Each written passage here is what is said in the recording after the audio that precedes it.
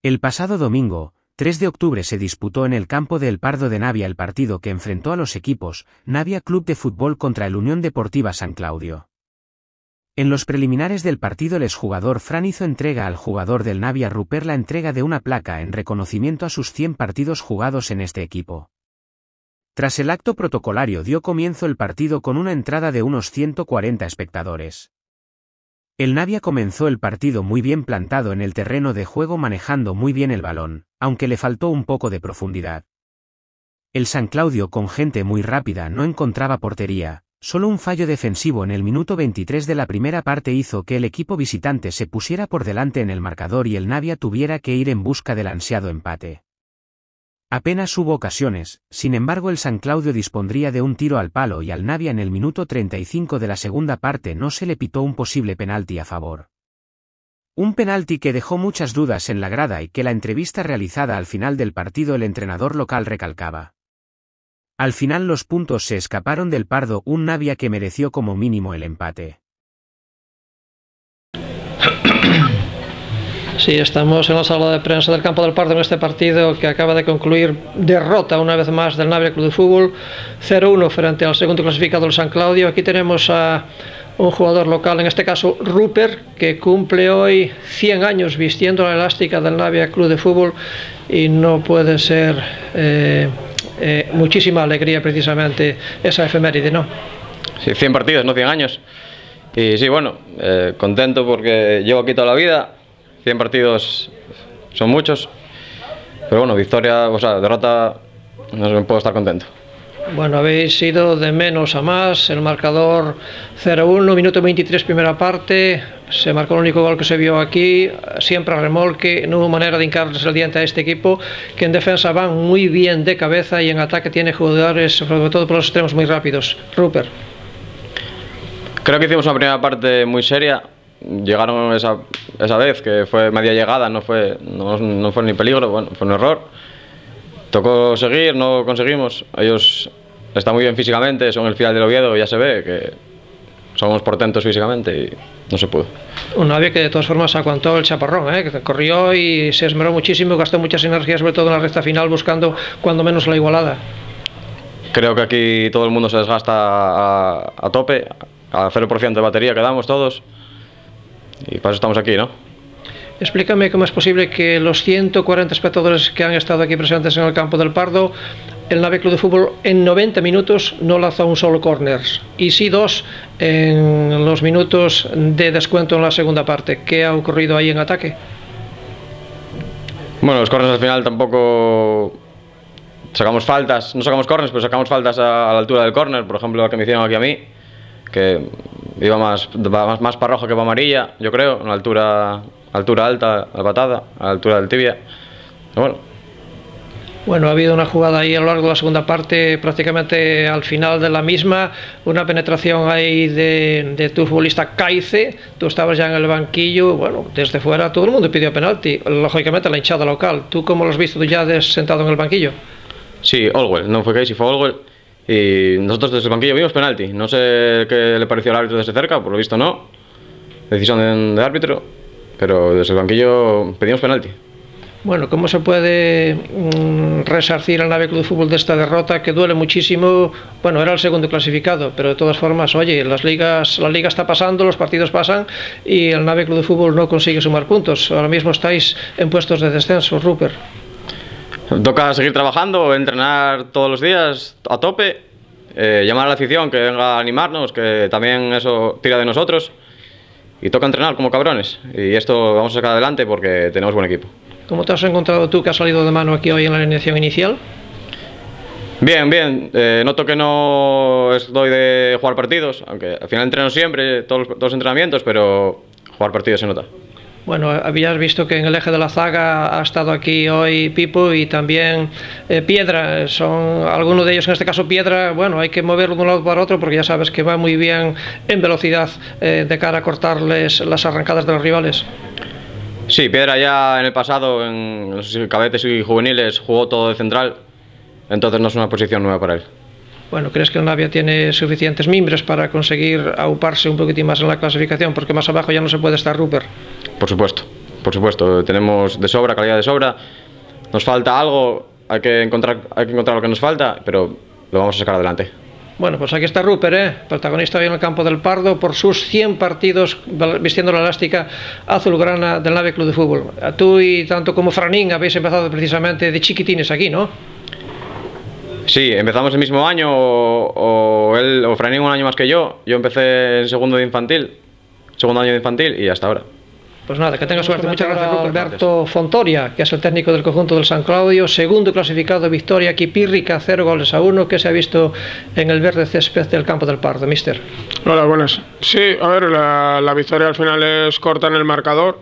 Creo que tuvimos también, sin buen juego, pero sí que sabíamos a lo que veníamos, sabíamos las características un poco del rival, creo que generamos las suficientes como para haber zanjado antes el partido, pero bueno, que si palos, bueno, errores en la, en la última decisión o, un fallo simplemente, y, o aciertos también de portero o lo que sea, hemos marrado varias eh, ocasiones y creo que nos podrían haber dado mucha tranquilidad para entonces sí empezar a hacer un poco más de, de fútbol porque fue nuestra carencia hoy durante el partido. El Navia no disparó ni una sola vez entre los tres palos. Vosotros en defensa en balones aéreos sois inexpugnables. Y eso que el Navia tiene a Caice ahí, que realmente de espaldas a la portería es un auténtico tanque. Nadie es capaz de quitarle la pelota.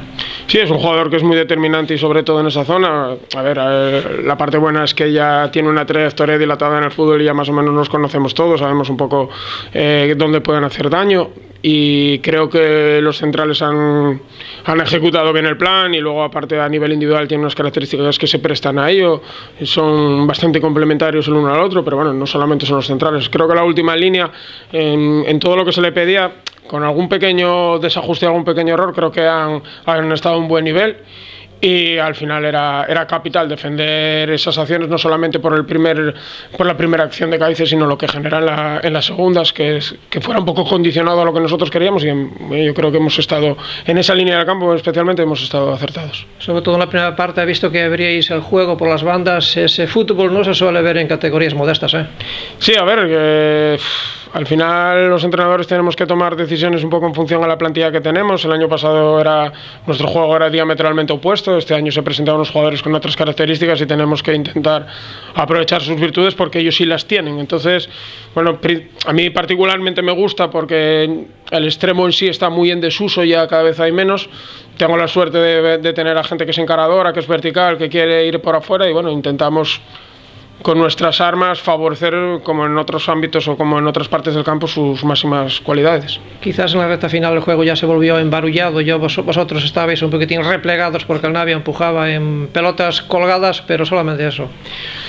Sí, pero bueno, eso es parte también de, a ver, una, una derrota o una victoria no siempre, o sea, no, no, siempre refleja. A veces ganas y no haces las cosas bien y a veces pierdes y has hecho muchos méritos para poder ganar. Nosotros en nuestro debe está que en la parte con balón eh, tenemos muy claro dónde poder hacer daño, pero centralizamos el juego eh, demasiado rápido hacia ahí y no leímos que había partes de, del partido que podríamos haber hecho un poco más ancho el campo, defender un poquitín más con el balón, tener un poco más de calma. Pero bueno, al final es difícil, son chicos jóvenes, están todavía rodando, se están aprendiendo y el, juego que nos propuso el Navia en los últimos minutos, pues nos fue empotrando, empotrando, empotrando y ahí entró esa inexperiencia de saber eh, jerarquizar un poco el juego eh, en determinados puntos, que pasara por el balón y pararlo. ¿no? Entonces eso es lo que, bueno, lo que tenemos que corregir, tenemos que trabajar y, y nada más, pero bueno, la actitud es buena uno queda pasmado que en 90 minutos de juego solamente aquí se ha lanzado un córner, ¿eh? y solamente uno, el vuestro, y sin embargo Navia hizo dos, o lanzó dos, en los minutos de descuento. No sé si el partido estaba loco, ¿cómo lo ves? Sí, sí, a ver, eh, siempre hay una parte importantísima de mérito del rival. Nosotros, bueno, nos fueron metiendo ahí, que tampoco es que te hagan ocasiones, pero era un juego ya muy rápido a dos áreas, y entonces a partir de ahí es raro que con tantas situaciones de dos áreas hubiese tan pocos corners, tan pocas faltas laterales. Sabíamos que también nos iban a penalizar, por lo cual intentamos también bueno, manejar eso, que el primer tiempo no estuvimos acertados, por ejemplo. Pero sí, sí es raro porque el juego era mucho, era muy lineal, iba muy boss to boss, como se suele decir, y, sí que es extraño que no haya más corners, más faltas laterales, sí, sí, es extraño. Pues nada, Alberto Fontoria, técnico del San Claudio, equipo que venció aquí en el campo del Pardo, cero goles a uno, gol marcado por Sergio en el 23 de la primera parte. Si quieres añadir alguna cosa más desde este campo, que vos da buena suerte, porque el, el año pasado en una eliminatoria 0-0 aquí y allá 1-0 habéis pasado esa eliminatoria. Sí, bueno, a ver, al final el fútbol es así, a lo mejor las próximas tres veces pues salimos derrotados, así que bueno, eso, eso es anecdótico, cómodo sí se está porque conoces a mucha gente de aquí, tanto de dentro, jugadores, exjugadores, chicos que entrenan en juveniles, eh, eh, es un placer cerca de casa, por eso instalaciones maravillosas, así que por esa parte muy bien. Y el otro, bueno, lo que te digo, es anecdótico al final. Todos en los años de entrenador ganas y pierdes en todos los campos, así que. Muchas gracias por tu amabilidad. ¿eh? Gracias a vosotros por vuestra labor, siempre. No sé si Suso, eh, técnico de la Club Fútbol, nos va a decir en principio si el San Claudio se marchó vivo de aquí. Sin duda sin duda se marchó vivo. Eh, independientemente de que es un equipazo, es un equipazo que es otra categoría, con jugadores increíbles, de una velocidad, de una técnica, de un saber estar en el campo. Pero yo creo que el Navia hoy hizo un partido muy, muy serio, eh, minimizándolos en muchos aspectos, y es más mérito del Navia que el San Claudio hoy no haya desplegado su juego que el desmérito de ellos. Creo que el Navia ha hecho un partido casi perfecto, salvo, salvo, salvo el gol que encajamos, claro. Yo no sé si a los meros de cambio os metió un poquitín de miedo el conjunto visitante jugando por los extremos, vosotros replegados prácticamente no pisabais área rival, ¿eh? No, no, en absoluto. Nosotros, yo conozco muy bien a San Claudio, ya del año pasado tienen jugadores nuevos, pero sabemos que ellos eh, tienen por fuera gente muy, muy, muy rápida, entonces intentamos que no hubiese mucho espacio a la espalda, que estar muy juntitos y a partir de ahí robar y contraatacar, que creo que lo conseguimos en, en todo momento. Bueno, hay que decir que en minuto 35 de la segunda parte, con el marcador 0-1 ya, eh, una penetración ahí, a mí me pareció desde la distancia que era Caice, bueno, me han dicho que, era, que era, Caice o, era el compañero. Caice, Caice. Era Caice, es que decía alguien aquí que, que, no era Caice, era Caice, evidentemente. Bueno, esa jugada vosotros habéis protestado muchísimo. ¿eh? Sí, porque para mí es un penalti, es un penalti claro, y bueno, al final el árbitro no lo vio o no lo interpretó así, pero bueno, son acciones que al final siempre van, se van en contra, en contra nuestra, ¿no? Si fuese al revés, a nosotros con nada que, que hacemos siempre nos pitan, nos pitan de otra manera. Bueno, habéis encajado un gol realmente de auténtica semi-verbena. ¿eh? Ese balón prácticamente lo coge un niño de 5 años. ¿eh? No anduvo demasiado fino carrera. Yo no sé si el sol le molestó un poco, pero bueno, era una pelota prácticamente fácil eh, de la cepa del poste. ¿eh? Bueno, es una acción del juego, sin más. Eh, errores tenemos todos y por supuesto que Carrera hizo un grandísimo partido, pero de los mejores hoy, porque dominó el área, porque estuvo muy atento en todas las salidas. Cuando nosotros trabajamos en fuera de juego, alguna acción que el balón que venía a la espalda estaba siempre muy bien colocado entonces para mí el partido de carrera hoy es de 10. Independientemente, claro, si hubiésemos marcado alguno más nosotros, se miran mucho los fallos ahí, pero eh, para nada carrera intervino en el resultado. Eh, sobre todo en la segunda parte el Navia metió muchísimos metros hacia adelante, se vio que arrincanasteis al rival en algún momento y sorprendentemente, sí que es curioso, ningún disparo entre los tres palos. ¿eh? Bueno, y son un equipo muy, muy, muy bueno, ¿eh? tienen la línea de cuatro, son gente con muchísima experiencia, con, con Dani, con, con Ahmed, con Eneas, eh, Michael el medio centro, un equipo de otra, de otra categoría. Nosotros sí que con, con, mucho empuje, con mucho orden, porque al final queríamos también que si no perdíamos la pelota, las transiciones de ellos son, son muy veloces y podíamos perder el partido precisamente por buscar con, con ansia el, el, gol. Entonces sí que llegamos a área y intentábamos que todas las acciones que tuviésemos que fuésemos con finalización. Tuvimos buenos balones en área yo creo que alguna ocasión tuvimos para poder hacer, para poder hacer como mínimo el empate. Yeah. Yo no sé, Susu, si se puede revertir esta situación, porque ya ves cómo está la clasificación, la gente está nerviosa, 140 aficionados había aquí, han visto lo que han visto una vez más, que el Navia no suma. Yo no sé si tú, desde el banquillo, ves una cosa distinta a lo que pone la clasificación.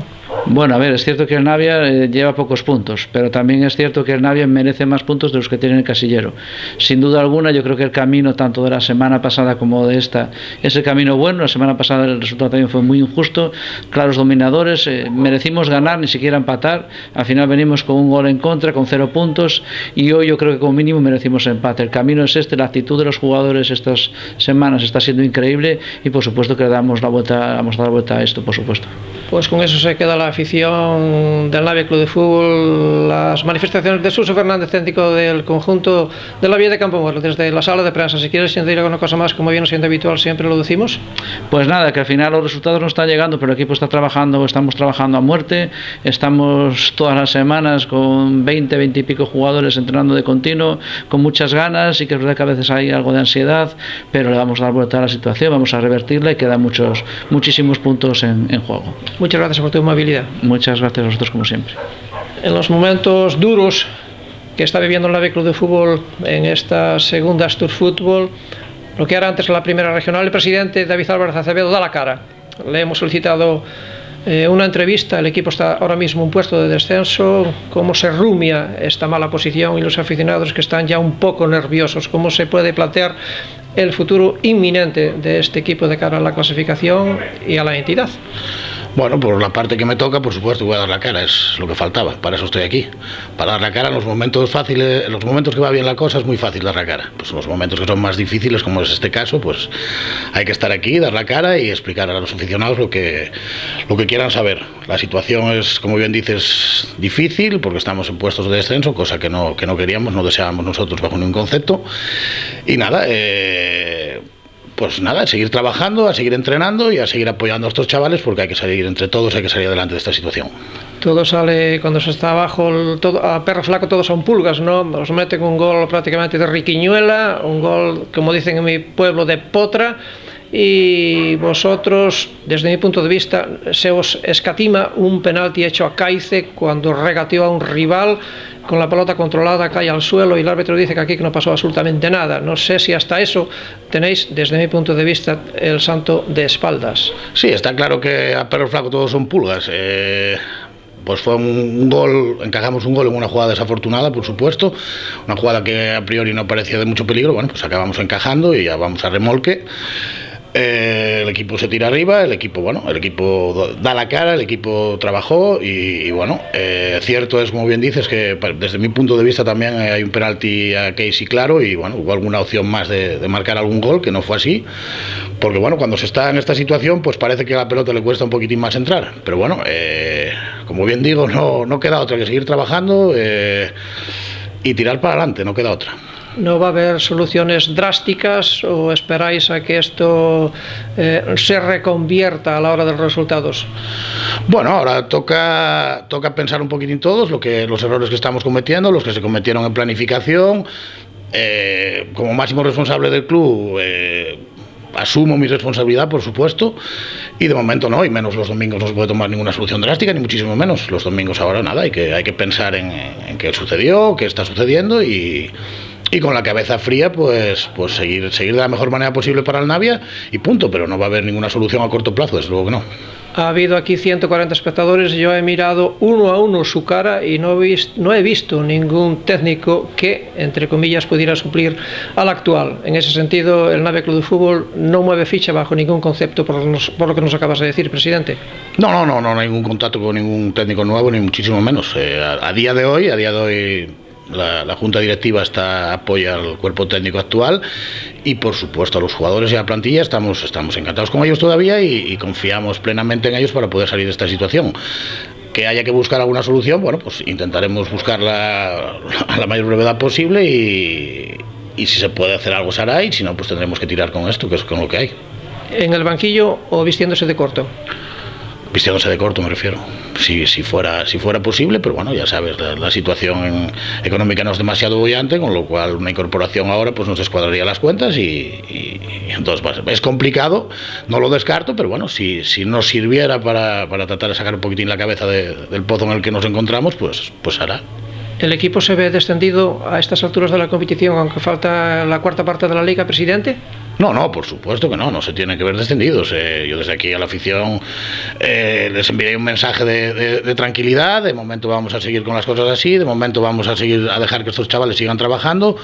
Eh, les pediría que vengan al Pardo a apoyarlos porque, porque para que ellos no bajen la cabeza, que sé que no lo van a hacer, y nada, a ver si podemos llenar el Pardo en sus dos partidos y empezar a sacar los puntos de tres en tres eh, para poder salir de esta, de esta situación. Bueno, pues un interrogatorio realmente con preguntas eh, bastante, bastante incisivas, pero no nos queda más remedio como medios de comunicación de hacértelas, presidente David Álvarez Acevedo, si quieres añadir una cosa más a la gente que te está ahora mismo escuchando y viendo. Sin lugar a dudas, yo me encantado de que me hagas las preguntas, todas las que, las que te creen cierta inquietud y yo estoy aquí para resolver, para, para, para respondértelas y para dar la cara en todo momento y así, así te digo a ti, a cualquier socio que me quiera venir a preguntar por, por cómo están las cosas, yo estaré encantado de, de, recibirlos y explicárselo porque al fin y al cabo el club es de los socios. Muchas gracias por tu amabilidad, presidente. Muchísimas gracias a vosotros.